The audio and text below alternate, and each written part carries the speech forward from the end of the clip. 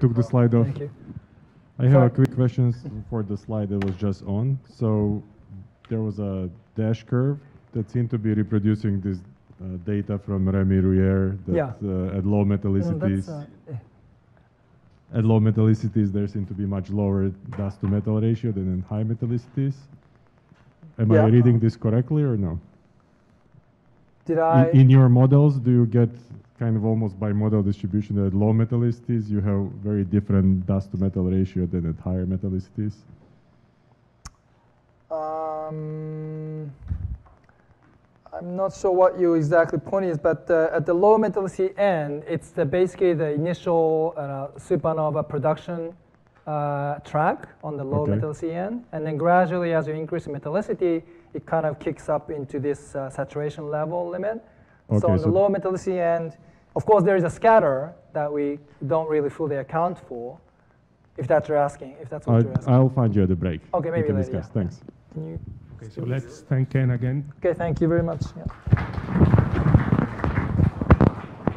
So next speaker is Brant Robertson, who will talk about constraining galaxy formation cosmology with Lyman alpha. Okay, I'll give you a five-minute warning, okay? All right, I'll need it. Thank you. Uh, welcome, everyone, to Santa Cruz. I'm Brant Robertson, if you don't know me. Uh, I'm a professor here at, in astronomy and astrophysics. Today, I'm going to be telling you about work that's primarily done by Bruno Villasenor, who is in the back. Bruno, wave to everybody so uh, they can talk with you. Bruno's a wonderful uh, student who is defending on Tuesday um, and so, you know, wish him luck. And you can give, you, this can be a trial run for Bruno's uh, thesis defense. There's a, a variety of wonderful people working with us. Ryan Hausen, who just moved to Johns Hopkins University. Piero is the main other collaborator in the group. Evan Schneider, my former student, she's a professor at Pitt. Nicole Drakos also in the room. Nick Gnedin, uh, Hanjue Zhu, uh, Reuben Budiardja uh, at um, Oak Ridge, some people from AMD and uh, Hewlett Packard. So there's a variety of these papers that have come out lately. Um, Bruno's paper on, on the second half of the talk will be out any day, we promise. Okay. So um, today's talk is about how we can learn about cosmological structure formation and galaxy formation from the properties of intergalactic gas, and then also a little bit about how we can leverage new computational architectures to better model our universe. So what is Lyman alpha forest? Um, so I'm going to be talking about the intergalactic medium, Lyman alpha forest. Of course, that connects to galaxy formation as these are the sites, the cradle of galaxy formation. And uh, you know, a lot of the time we're looking uh, inside out, we're looking at winds, but here I'm going to be concentrating more on the environments of galaxies and eventually we'll be moving it in scale. So you have the intergalactic medium, you have some distant quasar. The light from that distant quasar is filtered through the intergalactic medium, and uh, the neutral hydrogen gas along the line of sight produces absorption lines that are detected in the spectrum of this quasar as a deficit of light along the line of sight. Uh, we care about the transmitted flux um, through this medium, and it's often the statistical properties of this uh, transmitted flux that, uh, that we measure. I'm going to take my mask off here. Hopefully that's a little bit clearer.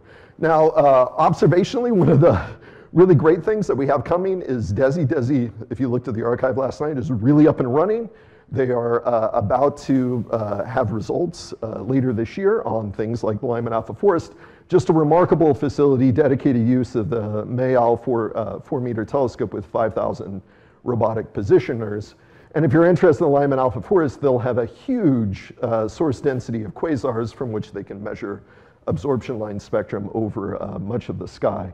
And there will be quasar targets at least to three and a half, if not uh, even higher redshift for which they can measure the forest.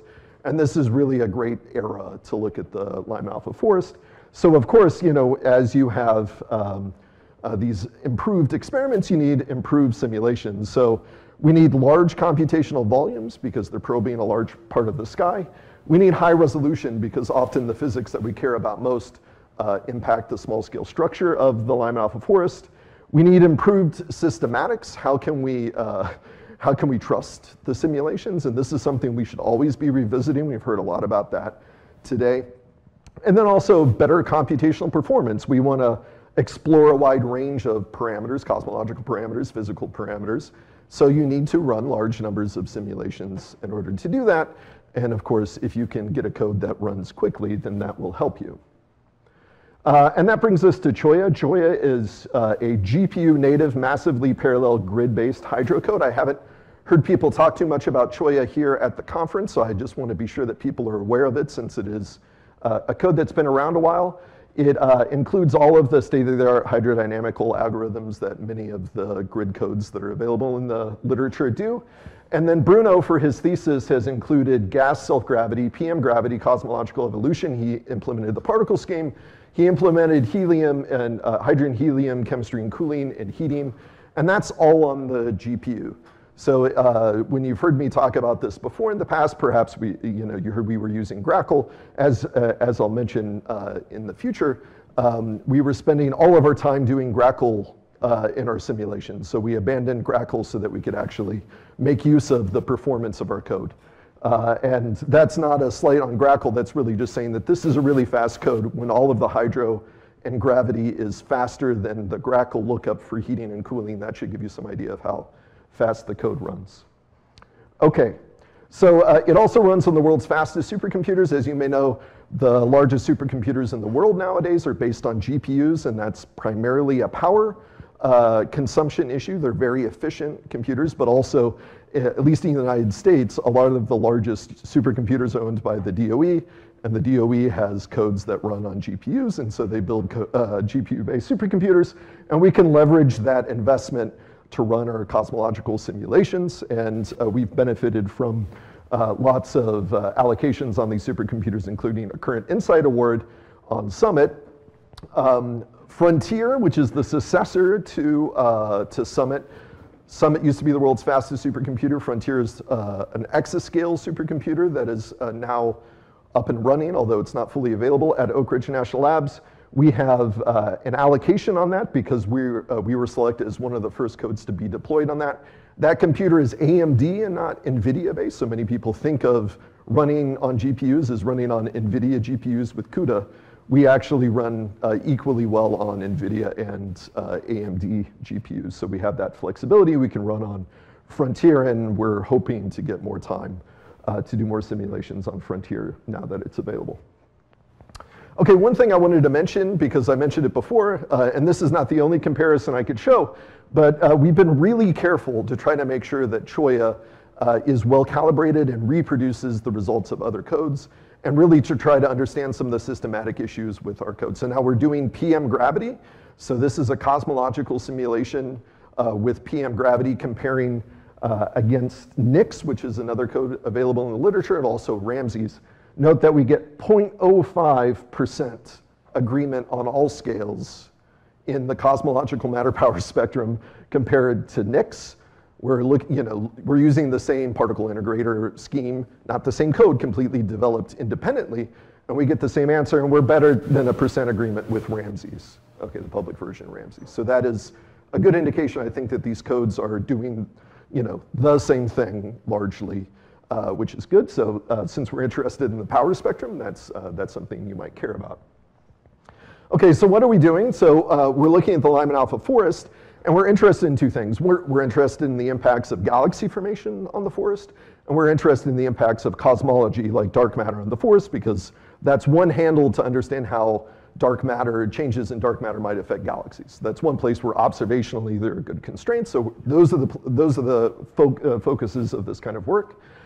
So we need to understand what the photoionizing background is. Um, the photoionizing background is a combination of the emissivity from galaxies and quasars. Okay, this is the, basically the production rate of ionizing photons, but then those photons can only inter, uh, ionize intergalactic gas if they can travel throughout the intergalactic medium. So actually the mean intensity, which gives you the photoionization rate in this integral, uh, over energy in the cross-section of uh, photoionization cross-section is actually related to the product of the emissivity and the mean free path.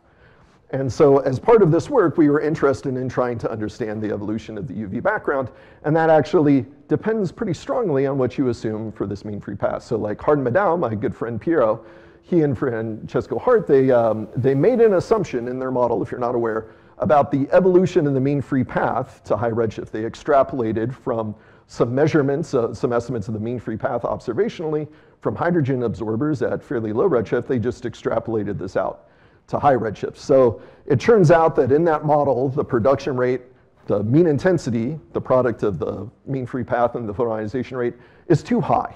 Okay, so you should not be using Haardt-Madau as uh, un, uh, you know, unaltered as your ionizing background because the mean free path during reionization should go down substantially and that changes the high redshift mean intensity. So if you run a Haardt-Madau model, reionization actually in your simulations will happen at like redshift 13 if you don't do anything about it.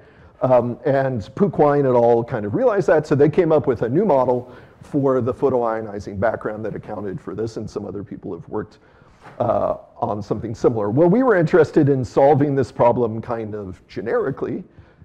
Okay, we wanted to compare the results of cosmological simulations where we varied the photoionizing background produced by galaxies, varied the actual photoionization photoheating rates, okay, but then constrain that with data. Now, how do you do this with cosmological simulations? Because it's very complicated physics.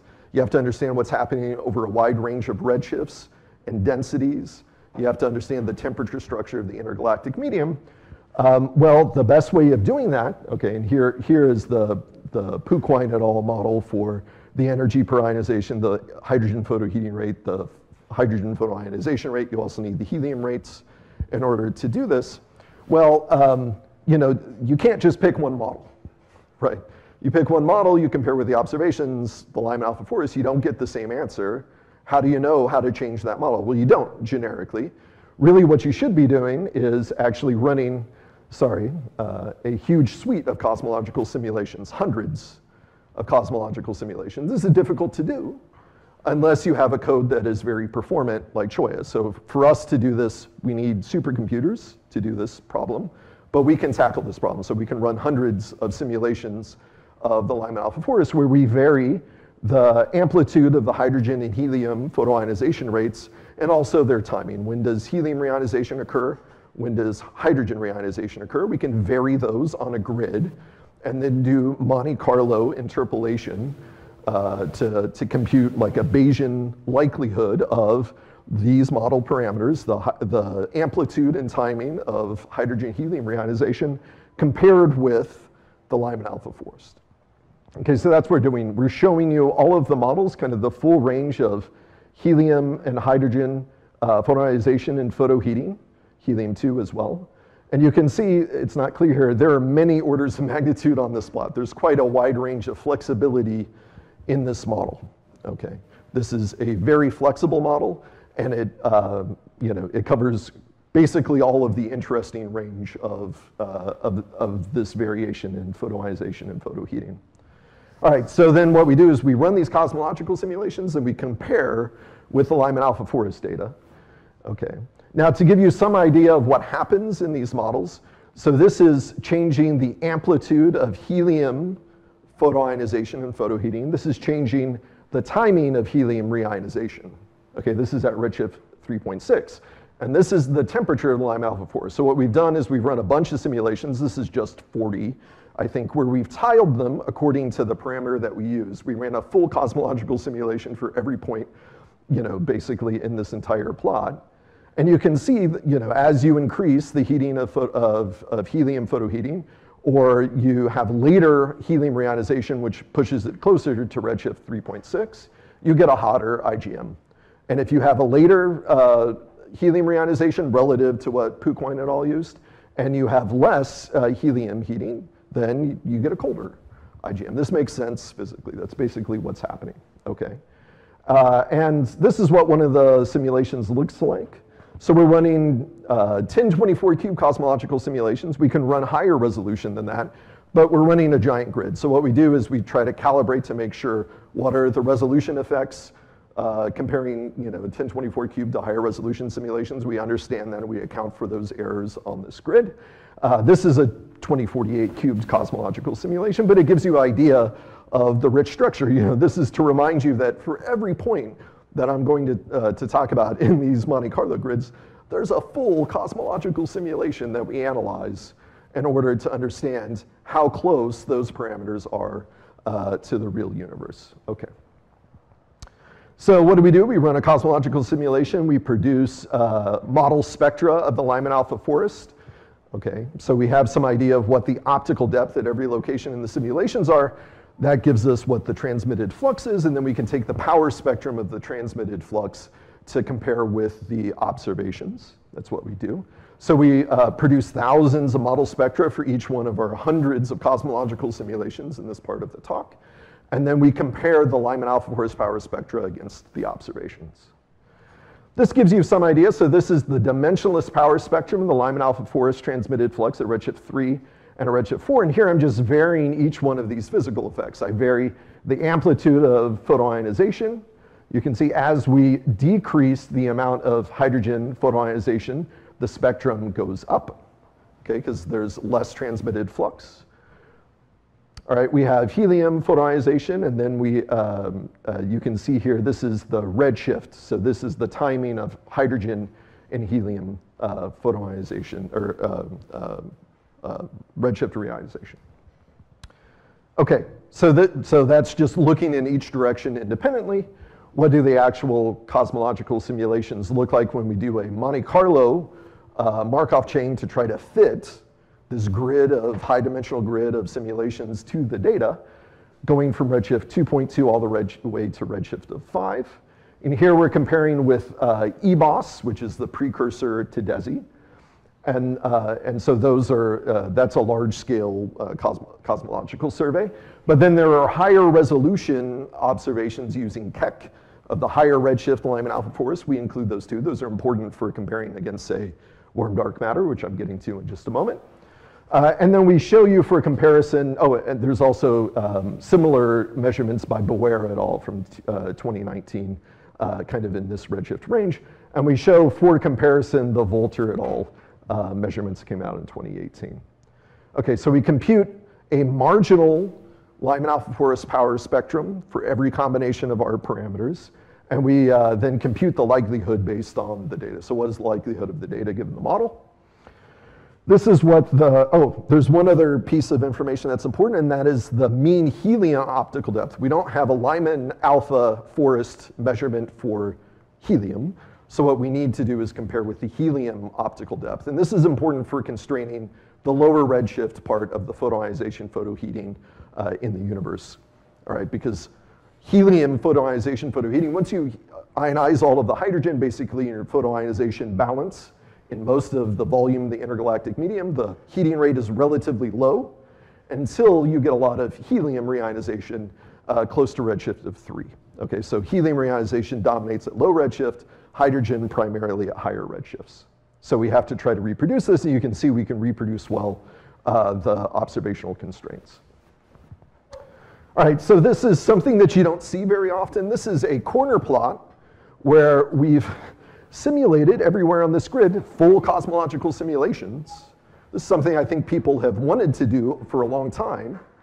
Okay, these are full, not just N-body, obviously, these are full hydrodynamical simulations that include, uh, you know, heating and cooling and chemistry uh, of hydrogen and helium. And then we compute relative to the parameters. Uh, so these, these parameters, what they are, they're relative to Puchwein.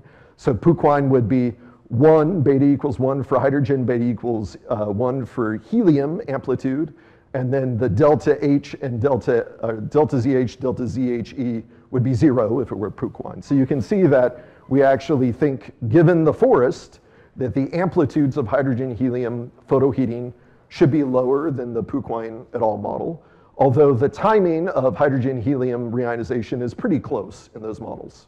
So we prefer a slightly earlier hydrogen reionization and a slightly uh, earlier helium reionization than what's in Puchwein et al.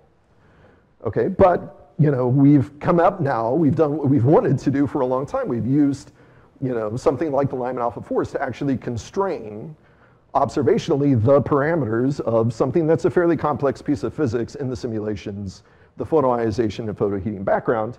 And so then you can just go to Bruno's paper and actually look up what these rates are. And here we're showing a comparison. Red is the Puchwein et al. model, and the gray uh, curves are the constraints that we derive from the Lyman alpha forest.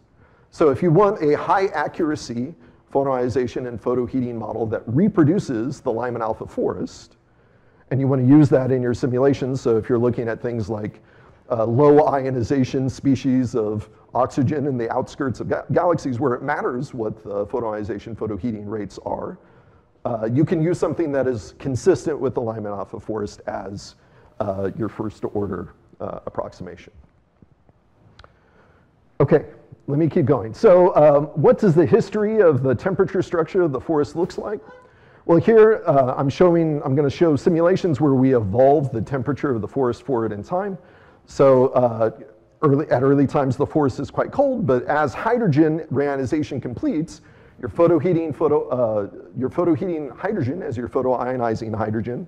Once uh, hydrogen reionization completes, then there's not really a strong heating source anymore, and the galaxies, or sorry, the intergalactic medium continues to cool as the universe expands. That is until quasar heating starts to become uh, important, where you're actually ionizing helium again. So you get photoheating of helium that then heats, reheats the intergalactic medium. There's then a second peak of the temperature of the intergalactic medium at full helium reionization, and then there's adiabatic cooling to the present day. So this is what the temperature history of the intergalactic medium is. And you can compare that with observational inferences of the, of the intergalactic medium temperature. And you can see here, this is the slope of the power law connection between density and temperature in the intergalactic medium. This is very uncertain. Uh, you can see what our simulations predict by fitting to the Lyman alpha forest. These measurements are not fit to. These are just inferences from the observations. I have five minutes. I'll have to go faster. All right, so uh, long story short, we're consistent with the temperature history of the Lyman alpha forest other people have inferred. Okay, so now another thing you can do is look at warm dark matter uh, in the Lyman alpha forest because that changes the, uh, the matter power spectrum.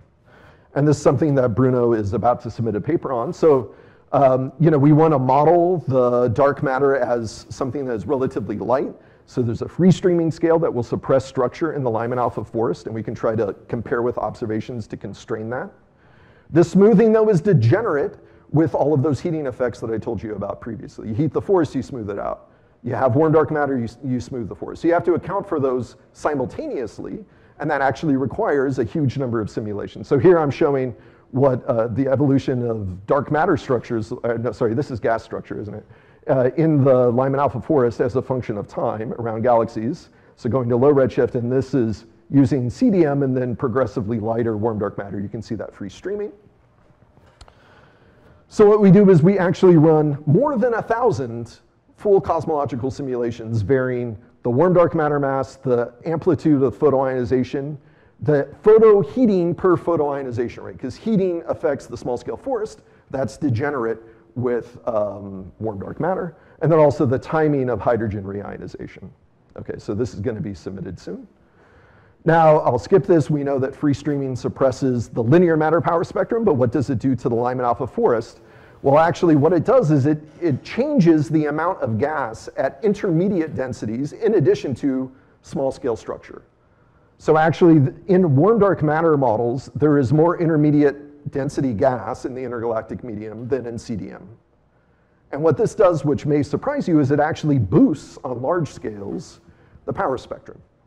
Now, many people will renormalize this out because I don't know why, but, uh, but we don't. Okay, so this is a prediction of those models because there's a higher opacity in the intergalactic medium because there's more intermediate density gas. But then also on small scales, it suppresses the matter power spectrum. And I'll skip this slide. Okay, so this is what the main result is. So here are the best fit CDM and warm dark matter models to the Lyman alpha forest at intermediate redshifts where it's the most sensitive currently to that measurement. Okay, and you can see here if you look closely, you'll see that the chi-squared is actually better for warm dark matter than for CDM. And if you look at the corner plot, this is what the corner plot looks like, you can see that in our warm dark matter mass, this is 1 over the warm dark matter mass, which is a common way of doing it. This is CDM. This is very light warm dark matter. You can see that our best fit is actually not CDM. It's something that has a KeV of something like 4 or so. did I say, four and a half, but it's consistent with CDM. So this is, I would say, interesting. I would not say that this is conclusive. We do know why this happens. It has to do with the small scale shape of the matter power spectrum, and warm dark matter does seem to fit that better. Okay, there are a few caveats that I want to mention uh, about this, but this is uh, intriguing. Uh, let me skip ahead. Skip ahead. All right. If you just look at the CDM only case, you might say, well, maybe you get crazy parameters for the Lyman alpha forest heating uh, in your warm dark matter models. Actually, they're very similar to the CDM only case. Okay, so the nuisance parameters of the Lyman alpha forest heating are basically the same in CDM warm dark matter. So that is not the solution. So it, it, you're actually getting pretty consistent answers for what the thermal structure of the IGM is. It's somewhat colder in the warm dark matter case. Okay, and that makes sense because you balance smoothing versus heating. And so if it's colder, you can smooth more with warm dark matter and get the same overall power spectrum as you do in CDM with a somewhat warmer um, intergalactic medium. Now, if you account for inhomogeneous reionization, that reduces the tension. So there are methods for post-processing your power spectra to account for the fact that we, we, we assume a uniform background, okay? So if we did full radiative transfer in all of these simulations, we could account for this, we don't.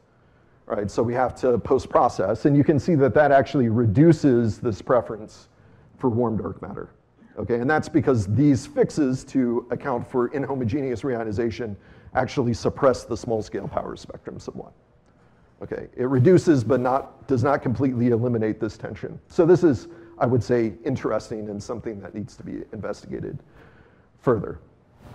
So you might say, so what are the next steps? And since I'm wrapping up here, so what are we doing now? Well, uh, we're using machine learning models to try to include galaxy formation. So we don't have any winds.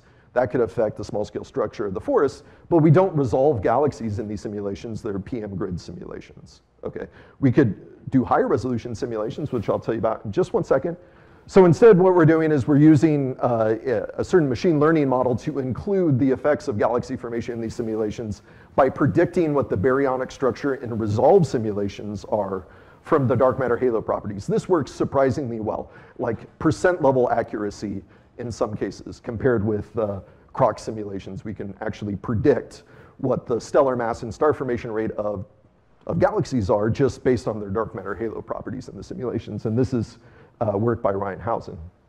And then of course you can go to higher resolution simulations. So one of the great things about Cholla is we can actually run enormous cosmological simulations. Instead of running thousands of small ones, and 1024 cubes is you know, a moderate size simulation nowadays, uh, we can run really large simulations. So to give you some idea, in the time that I've been talking, we could run 125 2048 cubed cosmological simulations to redshift of two on Frontier, just in the time I've been talking. That's how quick Cholla is. It takes about 760 seconds to run a 2048 cubed cosmological simulation to redshift of four, which is amazing. Okay, so, um, you know, hopefully you, have gotten, gotten some idea of, you know, why this is interesting. This hopefully we'll, we'll be able to do more comparisons in the future. Um, you know, it's, it's intriguing, I think, that we see some preference for warm dark matter. Uh, I think we all don't really believe that as, uh, as the solution of the problem, so we're trying to understand exactly what additional observations would allow us to rule that out. We still see uh, very good consistency with cold dark matter, and we have a very good constraint on what the history of photonization and photoheating in the intergalactic medium is, which you're all welcome to use uh, when modeling galaxy formation. So thank you for your time. Thank you very much. I'll take your questions. Thank you. Thank you. We have time for a few questions. Oh, there's lots, some stuff here. Uh, can't say how impressed I am. Uh, well, it's Bruno and Evan who've really done most of the work. Bruno's yeah. done it, yeah. Um, so uh, I don't work on simulations, but I'm very interested and very curious about it. Just wanted to ask, what is the black magic behind this speed? What are you doing? yeah, so, um, so a lot of it has to do with the parallelization on the GPU. So we tile the, uh, the cells onto the GPU. The CPU almost does no work. It really just sits there for us. Right now, it used to be that we'd keep things resident in CPU memory and we'd kind of we wouldn't fully offload. We were always running on this, the GPU, but we would do like MPI communication from the CPU. We would do cooling from the CPU. But now in the new structure of these supercomputers, the GPU is actually resident on the same card that the, uh, the network card is. Okay, they're integrated. So you don't, you never want to go to the CPU. The CPU is really just taking up space for us in these simulations. It, it, it provides a little bit of extra memory for us that we're trying to leverage to help with some load balancing issues. But really, it's keeping things on the GPUs, which can do certain calculations very quickly. And one of those calculations is grid hydrodynamics. It does very well. Um, we also have accelerated the Fourier transform. So with Trey White at Hewlett Packard, we now have a block-based FFT uh, solver that works entirely on GPUs. It does not touch the CPU, and that is extremely fast for a Fourier Poisson solver. Okay, so we have a very nice FFT solver uh, as well now. Thank you. Thank you very much. Thank you very much for the nice talk. Um, so I have a couple of questions. Probably I missed some points, I guess. Uh, the first one is uh, I didn't quite understand whether you were fixing the cosmology here. Yeah. So, or are you varying the cosmology, in particular, for instance, neutrino mass, sigma 8, these kind of things? Yeah, so- Yeah, so in Bruno's first paper, we did look at how you vary cosmology. We can't do all of those at the same time, so just varying the warm dark matter mass and the amplitude of the heating and uh, the timing of reionization, we have a thousand simulations. Every direction you go in, you uh, dramatically increase the number of simulations. So we, we can do like six or seven-ish parameter uh, sets, okay, and dimensionality. Um, and we've thought about doing cosmological simulate, uh, like just co- cosmological parameters. We've looked at variations. It, you know, it doesn't impact necessarily the photoionization, photoheating calculations. There are things with the warm dark matter that you might wonder about, like the amplitude of the power spectrum, for instance, could uh, could influence that. Um, and this is something we've uh, we've looked into a little bit. Yeah. And the second part of my question, very quickly, was about resolution. So, Yeah. is it, does it depend on resolution, especially in the underdense part? Uh, and also, does it depend on uh, like feedbacks, for instance? Yeah, so, uh, so feedback in the high redshift universe, probably not a huge impact uh, on these results, okay? And it is the case that for most of these Lyman alpha forest simulations, people do not include the effects of feedback for most of them. Okay, I'm sorry. AGN feedback. Uh, well, I think for those, the volume of the universe at redshift of five that's impacted by AGN feedback actually doesn't contribute very much to the Lyman alpha forest. That, that is my sense of it, yes. Your other question was about resolution. And like I said, we, we do resolution studies and we adjust our uncertainties when we do our fitting appropriately to account for the fact that there is, there is a small scale effect on the resolution. We have done, I will tell you, I think higher resolution simulations, Lyman alpha forest, uh, than anyone else. These, most of these are not those, but we've done resolution studies where we've investigated this in a lot of detail, including you know different uh, like CIC versus TSC ways of calculating the uh, the gravitational forces, doing the interpolation, those kinds of issues. We- We've looked at a lot of this. Other so the next questions? speaker can maybe set up, and we can take a very quick last question. Uh, uh, okay. Uh, Could you say a little more, the, the low Z uh, helium uh, background parameters, it looked like were pretty big differences. uh, With Puchwein. With Puchwein? Could Factor you say what's two. driving those? Yeah, factor of two. That's right. Uh, It was yeah, hard please. to tell, it was one of your lots of orders of magnitude. Yes, that's right. It's lots of orders of magnitude, but